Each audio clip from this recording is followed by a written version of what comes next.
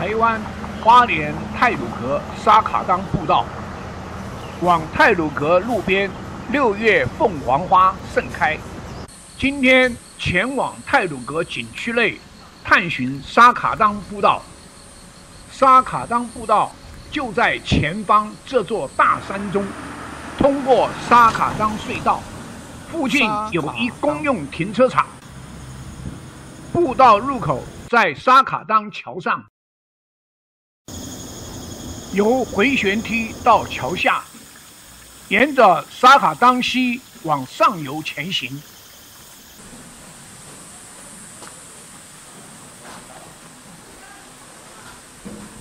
标示全长四点一公里，终点是三间屋原路返回，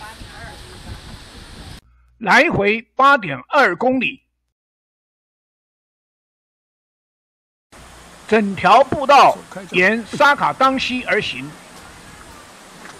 沙卡当溪是利乌溪支流，溪长十六公里，海拔约六十公尺，全程缓坡上升，没有阶梯，属阴湿河谷地形。植物生态呈干湿两型特色，坡度较缓，土壤较厚之地。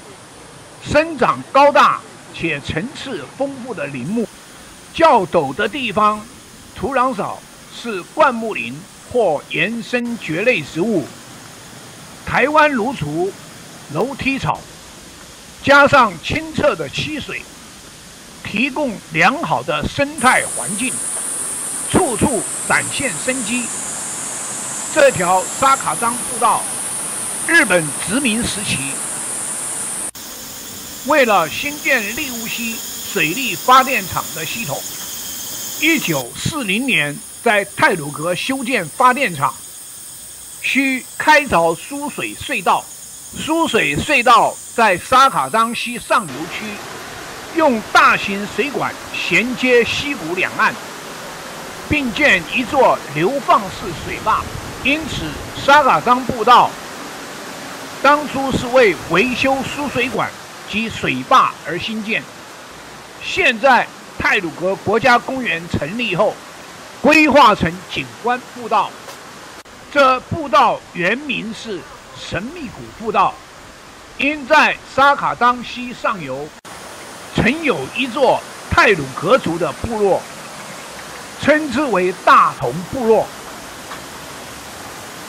旧名是沙卡当部落。所以这一带地区曾是泰鲁格族生活作息之处。雀榕的根攀附岩石上如盆景。沙卡当溪流路短，水流湍急，但含沙量少，平常或好雨都能保持清澈。堆垒许多大小岩石，色泽天然，以花岗岩。片麻岩、锡瓷片岩、大理石为主的变质岩，溪水清澈湛蓝，可欣赏到岩石折曲漂亮的纹理。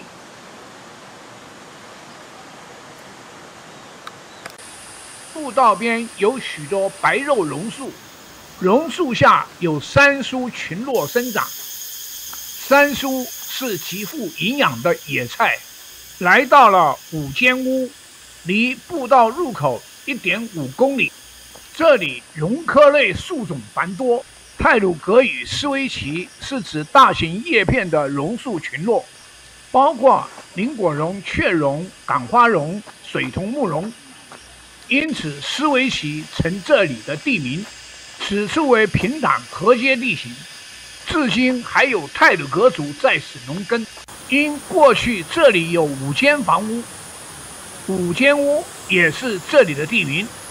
正前方见到发电厂绿色输水管，横跨溪谷，溪谷开阔，堆满巨石，岩石上有两位泳装的妇女正在晒太阳，已深入山谷。青山绿水步道，让人心广神怡。这里是姑婆峪群落，看到放流式水坝，也是南沙坝，坝长八百七十九公尺。由于南沙坝的阻隔，溪水中有特有种洄游鱼类虾虎鱼，丰水期可上溯越坝而过，枯水期虾虎鱼只能停在坝下。南沙坝影响虾虎鱼的生存空间。来到三点八公里，离终点三间屋还有三百公尺。过一座桥，这里曾是泰鲁格族人的部落，他们在这里生活作息。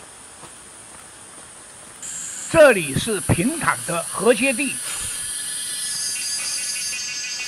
森林满布，因过去这里有三间泰鲁格族的房舍，所以三间屋成为这里的地名。但实际上，泰鲁格族人称这里为博拉耀，博拉耀是姑婆峪的意思。这里阴湿，以前应该生长很多姑婆峪。我们已到达。扎卡当步到终点，前面还有路延伸，遵守规定，不再前进。稍事休息，准备折返。谢谢观赏。